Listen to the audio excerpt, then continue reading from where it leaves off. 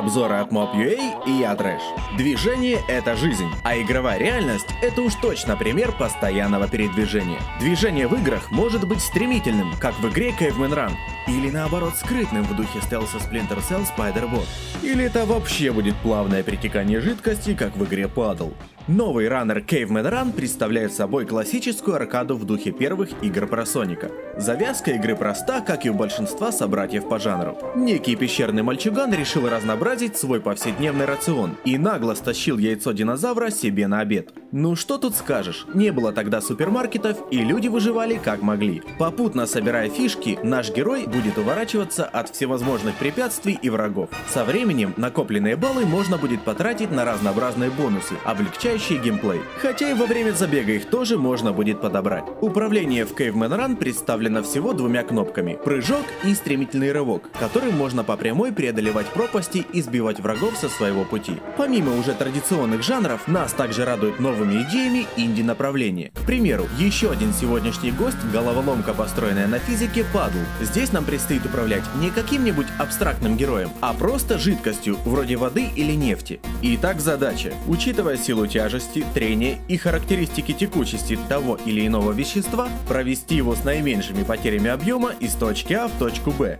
Страшно? В отличие от недавней Sprinkle Islands, Paddle имеет в своем распоряжении абсолютно новый физический движок, разработанный специально для процессора Tegra 3. Сама же игра радует не только отличным отображением физических процессов, но и увлекательными миссиями. Так, например, тебе предстоит в одном из заданий провести замерзшую воду по проводам, или же управлять глицерином в научной лаборатории.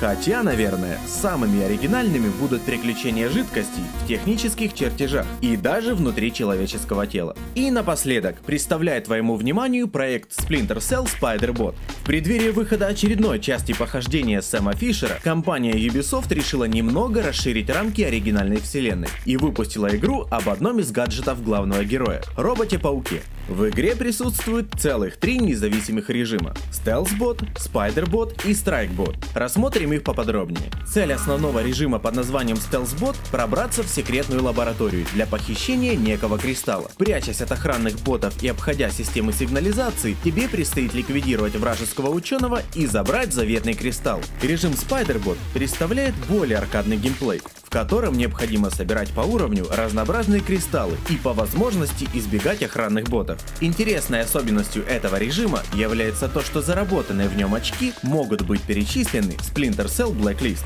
Я говорю может, потому что может ее кто-то купит, а не скачает. Хотя я сомневаюсь. Ну и наконец третий режим Strike-Bot представляет собой просто стрельбу по врагам и прочие варианты их ликвидации. Такие вот три игрулинки представлены на твой выбор. И на этом у меня все.